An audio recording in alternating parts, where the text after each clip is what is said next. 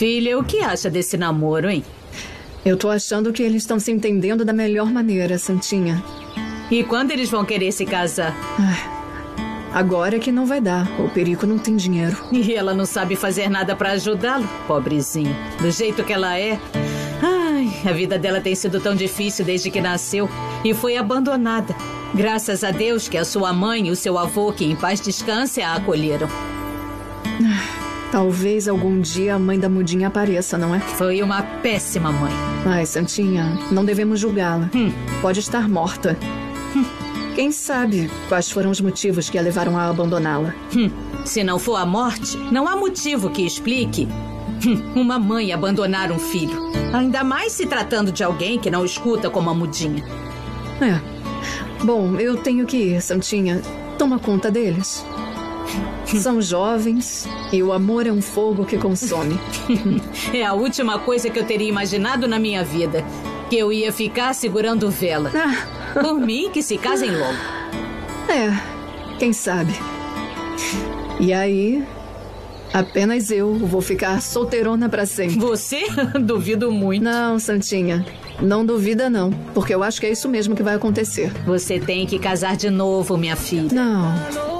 Não dê tanta importância a um amor que não merece.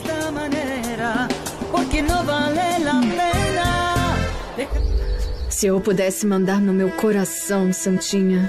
Esse homem pertence a outra mulher que já lhe deu um filho. Ah, sabe de uma coisa? Se eu quisesse, nesse momento não, ele estaria. Não, não, não queira, filha, não queira. Ah, eu sei. Eu acho que você tem mesmo razão. Talvez tudo tenha terminado definitivamente. É melhor não desafiar o destino. Ele costuma ser traiçoeiro com quem o enfrenta e você tem enfrentado. Eu? Por quê? Hum, porque você veio atrás do seu amor. Ah. Ou o seu amor veio atrás de você sem saber. Algo muito grande os separa e eu não sei o que é. E acho que você também não. Ah, pois é. Essas coisas costumam acontecer na vida. Duas pessoas se querem, querem estar juntas, e algo maior que sua vontade as separa. Ou as une para sempre. São mistérios da vida. Tem razão, Santinha. O Otávio e eu nos atraímos e nos repelimos ao mesmo tempo. Ele pediu para a gente começar de novo e eu recusei. E nem sei porquê, se o meu coração, meus sentidos e minha alma querem estar com ele. Eu vou ser sincera. Eu não tô nem aí pra esposa dele, nem pro filho, nem pra nada. Eu vi ele primeiro. Eu cheguei primeiro na vida do Otávio. Eu me sinto com direitos. Mas, na hora que eu tenho que me decidir, tem uma coisa mais forte que eu que me faz rejeitá-lo. Ah, eu não sei se é ódio, se é orgulho, se é ressentimento ou medo. Eu não sei o que é. Mas é uma coisa forte, uma coisa que existe. E eu também não consigo amar outro, mesmo que eu tente. Faz um esforço. Não viva atrás de uma sombra porque só vai ficar velha. E você vai sofrer. Os anos vão passar com mais pressa do que você imagina. Um dia você vai acordar e vai ver que no contorno dos seus lábios as rugas se afundam. E vai reparar que. que surgirão ruguinhas ao redor dos seus olhos e.